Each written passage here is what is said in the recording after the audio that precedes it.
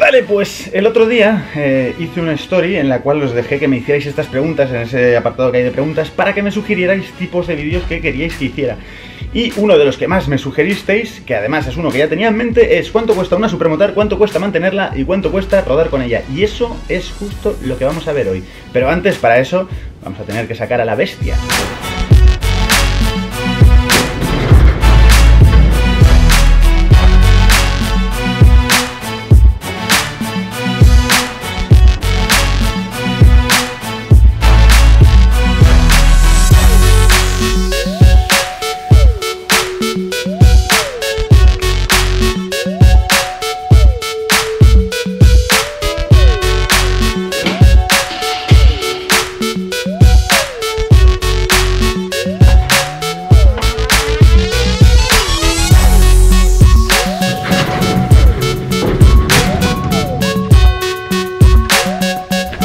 Habréis oído muchas veces cuando os vais a comprar un coche o una moto, aunque sean para la calle, vuestros padres siempre os dirán, no es lo que cuesta el coche, hijo, es lo que cuesta mantenerlo.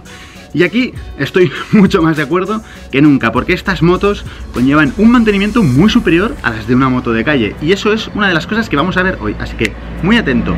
Por cierto, si todavía no has visto ningún vídeo de mi canal, yo soy Ironman y espero que te suscribas con ese botoncito rojo que tienes aquí y le des a la campanita para que no te pierdas ni un solo vídeo. Bueno, en primer lugar, para el que no lo sepa, esta joya que tenemos aquí es una Husqvarna FS450 del 2016.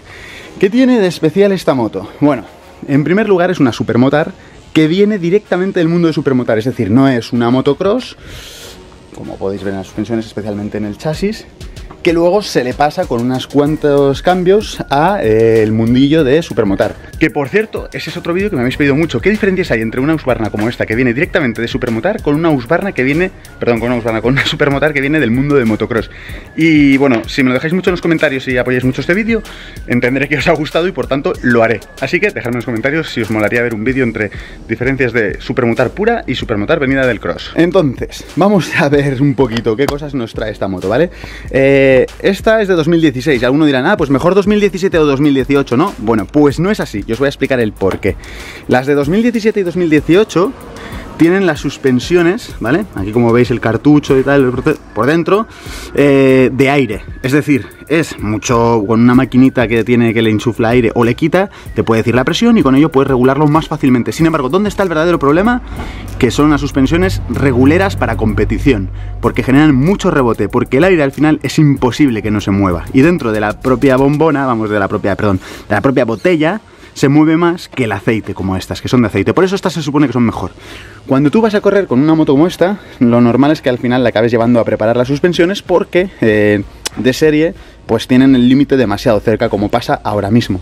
Cuando tienes que preparar unas de aceite cuesta un dinerito, pero cuando tienes que preparar unas de aire cuesta mucho dinero. Así que bueno, ahora voy a hacer ciertos apuntes sobre qué tipo de cosas tenemos que mirar a la hora de comprarnos esta moto. Por ejemplo, vamos a hablar de lo primero, ¿no? Que es lo que muchos queréis saber. ¿Cuánto cuesta esta moto? Bueno, evidentemente, nueva, si tú te vas a una supermotar, una Husqvarna FS 4,5 nueva, por ejemplo, de ese año 2019, que dicen que es muy buena, que ha mejorado mucho, son 10.500 euros, ¿vale? Ahora, clink, clink, tenemos que sumar. Si te vas a una de segunda mano, pues bueno, depende, porque puede ser que venga con cero preparación, pero con muy pocas horas, o con muchas horas, o muy preparada con muchas horas, o muy preparada con muy pocas horas. Entonces el precio varía.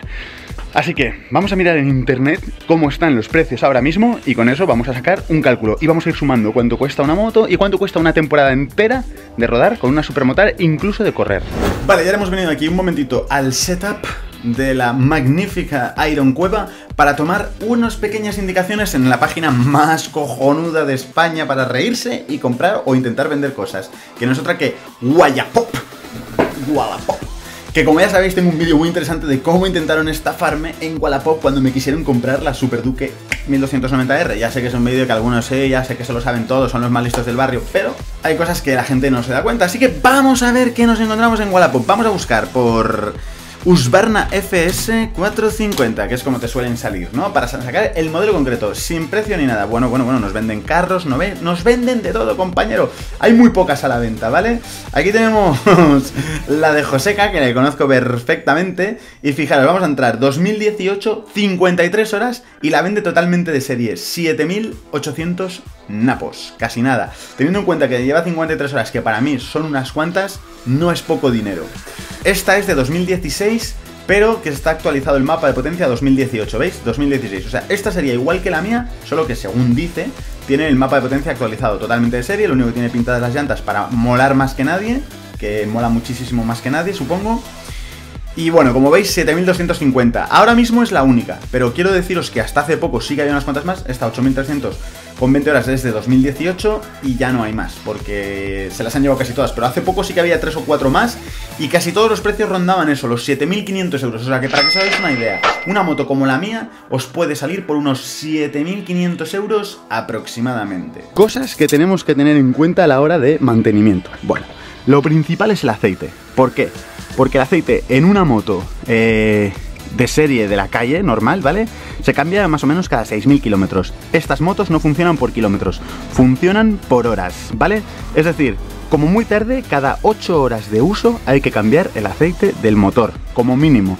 Y tiene aproximadamente un litro y medio, un litro y medio si no recuerdo mal, de capacidad de aceite dentro de todo el motor y que debes cambiar, como digo, cada 8 horas. Y usa un aceite un poquito especial, que es el de 10, 10W50 que es un poquito más viscoso, eh, etcétera, que el, que el, bueno, que el aceite normal, que son 1040, que es lo que suelen usar las motos de calle, por una sencilla razón, y es que aquí hay un pistón de alta compresión, no es un pistón normal y corriente. ¿Cómo se puede notar entre otras cosas la diferencia y por qué y dónde está? Pues mira, gracias a la alta compresión, entre otras cosas, se saca 63 caballos esta moto. Mientras que una moto, por ejemplo, como la T-Max, que es una moto de 500 centímetros cúbicos, por tanto 50 centímetros cúbicos más, debería tener más potencia, ¿no? Sin embargo, no, tiene muchos menos. Tiene 43 caballos, como ya vimos en un vídeo cuando la subí en el banco de potencia, que si no lo has visto, te dejo el link en la descripción de este vídeo o por aquí arriba para que lo puedas ver, ¿vale? Tiene 43 caballos esta moto con 50 centímetros cúbicos menos, da 20 caballos más es una burrada, es muchísimo. Y además, cómo los entrega es súper salvaje. ¿Y por qué? Pues porque las piezas que van dentro de este motor no son piezas normales y corriente, no son las de la calle, no están pensadas para durar, están pensadas para dar el máximo rendimiento. Y eso requiere mucho desgaste y por tanto mucho mantenimiento, mucho cambio, a diferencia de la calle, que buscan precisamente ese compromiso entre dar prestaciones, pero sobre todo que dure, que sea algo económico, efectivo, eficiente y que dure todo lo posible sin dar problemas. Entonces, vamos a seguir mirando cositas. Hemos dicho que el aceite se cambia cada 8 horas, un aceite de 10.50. Vamos a ir mirando ahora en internet también todo lo que cuesta este aceite. Y seguimos en Wallapop. Vamos a ver, por ejemplo, no en Wallapop. Bueno, vamos, vamos a buscar por curiosidad 10.40. A ver si aquí venden aceite que valga la pena. En Wallapop. Oh, mira, pues sí. Pero mira, por ejemplo, aquí, eh, 5100, 1040. Sí, sí. No es el que más aconsejan de Motul, eh, pero más o menos está por ahí. Para que os hagáis una idea, eh, 10.40, aquí lo ponen en 13 euros y medio el litro. Si hemos dicho, eh, pues evidentemente que gasta un litro y medio cada 8 horas, vamos a apuntar 20, 20 euros cada cambio de aceite más o menos por redondear y dejarlo las cosas aproximadas pero más claras, ¿vale? Con 20 euros cada 8 horas, teniendo en cuenta que la temporada puede durar en torno a, vamos a fijarlo en 64 horas, por decir algo, entre entrenamientos, carreras, tandas, es una buena temporada, 64 horas, en las que se, le da bastante caña a la moto, sin ser las temporadas máximas, pero que sí se, se va casi todos los fines de semana prácticamente un día.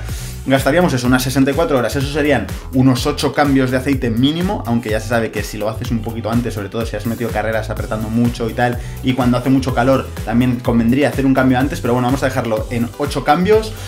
Por tanto, 8 por 20, 160 euros en aceite al año. No es una cifra de locos, pero bueno, tienes que saber que ese dinero está ahí. Las ruedas. Las ruedas es lo más caro de la moto, aunque no lo creáis. No solo porque es caro, sino porque es algo que dura poco.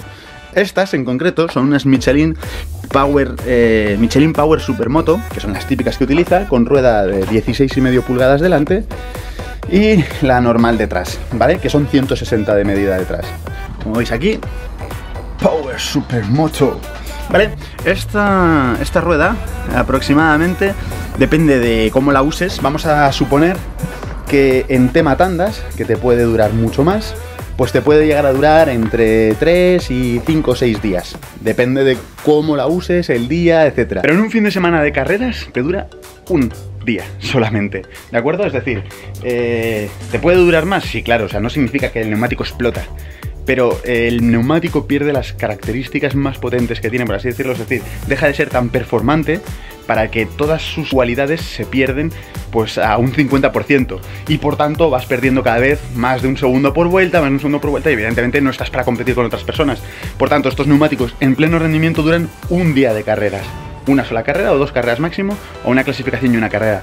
Pero un fin de semana entero de carreras ya vas forzado si tienes entrenamientos libres, para que te hagas una idea. O sea, como máximo yo lo diría que en un nivel como el mío, que no es muy bueno, te dura una clasificación y dos carreras. Y ya está y en un nivel que no es muy bueno como el mío. En un nivel super pro solo te dura una carrera, ¿vale? Es decir, a partir de las 15-20 vueltas, este neumático ya pierde las cualidades que te dejan ir al límite de la décima. Por tanto, estos neumáticos vamos a mirar también en internet, delante de todos vosotros, cuánto cuestan para seguir sumando. Bueno, eh, he abierto una página un poquito al azar, que sé que es muy típica porque, bueno, tienen mogollón de cosas a nivel de motos y todo este tema.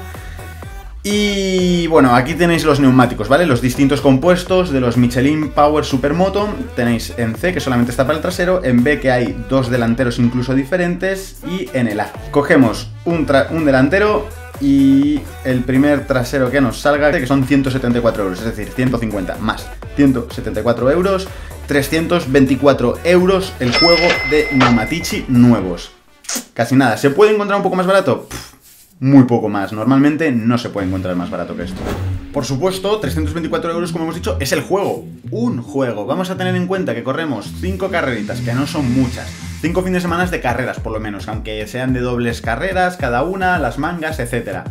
5 carreritas, más entrenamientos y diversión y tal, podemos coger cada juego para nuevo para un fin de semana y lo que nos queda lo utilizaremos para entrenar hasta la siguiente carrera. Para entonces tendremos que comprar entre uno y dos juegos más o menos para ese fin de semana y así sucesivamente. Entonces vamos a poner un punto medio y vamos a decir que nos gastamos unos 8 juegos de neumáticos, que como ya hemos dicho, a 300 euros vamos a redondear 2.400 euros. Ya os he dicho que los neumáticos iba a ser lo más caro de toda la temporada.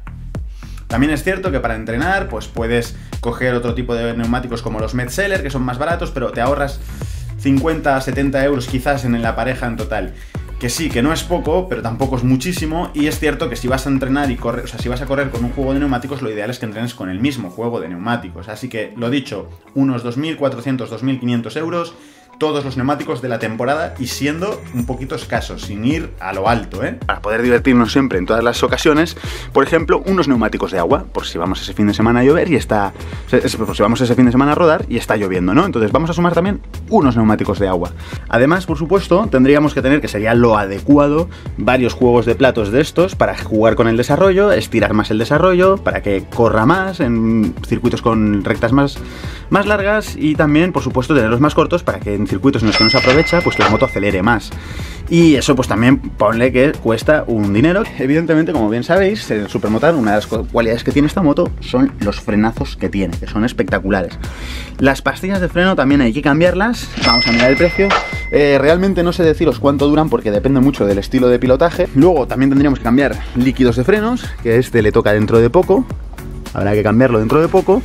Pero no es algo que se tenga que cambiar mucho. Igual que el líquido del radiador, que es un líquido especial, porque como ya sabéis, no, en competición no permiten utilizar eh, líquido anticongelante, como usan las motos y los coches de calle, porque resbala mucho y en caso de que tengas una avería y salga por algún lado, eh, te puedes pegar un ostión o puedes provocar que otra persona se pegue una hostia. Por tanto, utilizan normalmente o agua destilada o una mezcla especial como la que me dejaron aquí, que se cambia pocas veces, unas 2-3 veces al año. Normalmente me dijo a mí Héctor Cremades, para que os hagáis una idea, ¿vale? En líneas generales, este sería el mantenimiento de la moto.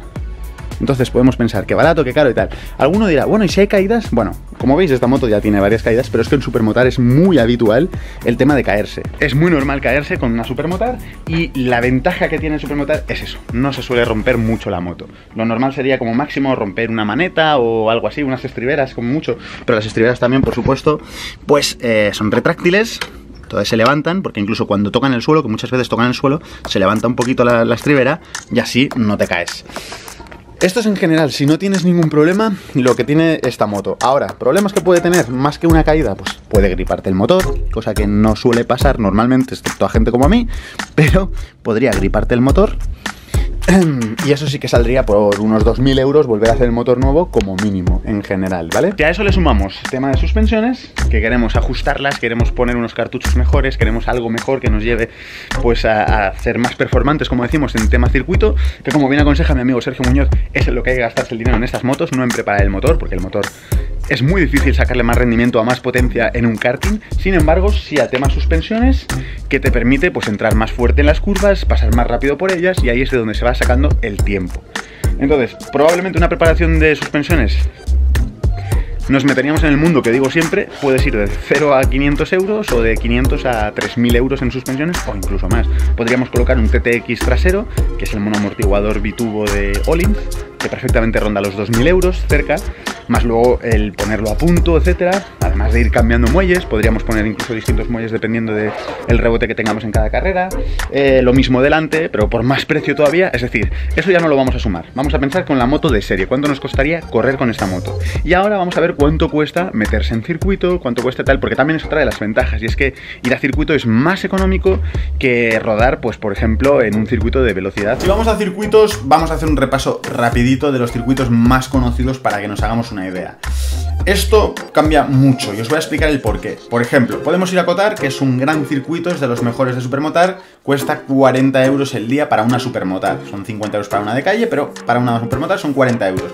Podemos ir a otro gran circuito como es el FK1 que a mí me encanta, que son 35 euros al día. Como veis son cifras muy inferiores a las que estéis acostumbrados si vais a rodar a Jerez, a Cheste, a Motorland, por ejemplo, etcétera, ¿no? Eh... También podemos ir al DR7, que está muy chulo cerca de Madrid, que creo que son 35 euros. Uno de los mejores circuitos también para mí de Supermotar, que es muy grande, es el de la Ribera, que creo que son 50 euros el día. Entonces, bueno, son cifras que dices, ¿cada día lo tienes que sumar? Pues depende, porque también muchos de estos circuitos venden bonos, bonos anuales, ¿no? Entonces te lleva todo el año del mismo día que lo sacas al mismo día del año siguiente y cambia mucho, porque si vas muchas veces lo amortizas enseguida. Por ejemplo, sé que en algunos circuitos, que no voy a decir nombres, pues tienen bonos desde 300 euros todo el año. Entonces, si estamos hablando, pues a lo mejor de un circuito que cuesta pues 50 euros o 600, perdón, o 30 o 40, pues estamos hablando de que entre 6 y 10 veces lo habríamos amortizado ya. Y si vas eh, un fin de semana al mes, desde luego, bueno, te sale más o menos igual, pero si vas más, ya, ya lo has amortizado. Si luego además, pues lo típico es tener una base en la que más ruedas a menudo y luego de vez en cuando pues vas a otros circuitos por probar cositas nuevas. Así que podemos poner que nos gastamos en visitas a circuitos y tal, más el seguro anual, que son otros 100 euros aproximadamente, etcétera, pues unos 600 euros si sumamos el seguro anual. Hasta aquí, bien, este es el dinero. Sin embargo, ¿dónde está la pega de todo esto? Que tener un medio de estos exige logística. Es decir, tener o un coche con carro y bola, o una furgo, lo que cuesta una furgo, gasolina para ir a los circuitos, seguro para mantenerlo, el numerito de impuesto de circulación, etcétera, etcétera. Entonces, con esto nos estamos acercando mucho a la, a la, cifra final, pero no es la cifra total de lo que cuesta. Además de tener un sitio donde guardarla bien, que hay mucha gente que se encuentra con ese problema, que no puede y tal. Bueno, ya hemos llegado al final del vídeo y ha llegado la hora pésima, la hora de sumar. Quiero recordaros que todo esto es incluyendo que no tengamos accidentes serios, que no tengamos averías serias, etcétera, etcétera, ¿vale? Vamos a hacer una suma un poquito tirando por lo bajo con las cifras de la moto que yo me muevo, podemos también comprar motos más baratas, más caras, de todo, ¿vale? Así que con estas cifras aproximadamente vamos a dar una cifra que se acercará bastante y ya decidiremos. Como hemos dicho, la moto 7.500 euros. También habíamos dicho que en aceite aproximadamente serían 160 euros, vamos a redondear a 200 para hacer algún cambio más, que serían unos dos cambios más aproximadamente, o para sumarle también los filtros de aceite que no los hemos sumado, pero bueno, 200 euros más, por tanto, 7.700. A 7.700 tenemos que sumar el juego de neumáticos que hemos dicho que aproximadamente va a rondar los 2.500 euros, ¿de acuerdo? Es decir, 10.200 euros hasta ahora con el juego de neumáticos. 10.200 euros más las 3-4 coronas para cambiar los desarrollos que serían otros 150 euros, por tanto 10.350 euros. Luego hemos dicho que el juego de pastillas costaba unos 50 euros, vamos a poner dos cambios, pues vamos a decir 100 euros, 10.450 euros y el tema de rodar en circuitos, eh, por supuesto, eh, seguros, etcétera. Que aquí no hemos incluido tema de federaciones y tal, que también son carillas, inscripciones a carreras y demás. Vamos a dejarlo en 600 euros. Por tanto, estaríamos hablando de unos 11.000, 11.500 euros aproximadamente, teniendo en cuenta que aún nos faltarían algunas cosas de meter, que podríamos meter, etcétera, etcétera y etcétera. Porque también si alguna cosa tenemos que llevarla al taller, habría que sumar manos de obra, etcétera, etcétera. Como digo, y todo esto sin preparar suspensiones ni nada. Luego tendríamos que sumar, como ya hemos dicho, coches con bola, remolque, furgos, eh, lugares para dejarlas, que muchas personas tienen que alquilar o garajes, o bien trasteros, etcétera, ¿no? Entonces, más o menos, para empezar con una Husqvarna como la que yo llevo, etcétera, tendríamos que calcular que por temporada nos íbamos a mover en torno a los 11.000 euros. Evidentemente, si tú todo lo haces bien, lo cuidas y tal, esto es el gasto del primer año. Luego ya el segundo año no hay que comprar moto, por tanto nos moveríamos en unas cifras muy inferiores. Y bueno, brothers, no puedo deciros nada más que espero que os haya gustado este vídeo, muy tirando por lo aproximado. Si queréis que os sigamos haciendo vídeos tipo cómo, cuánto cuesta correr o cómo empezar a correr, lo más barato, que mucha gente me pregunta, oye tío, yo quiero empezar a correr, ¿cómo lo hago? ¿Dónde me meto? Tal.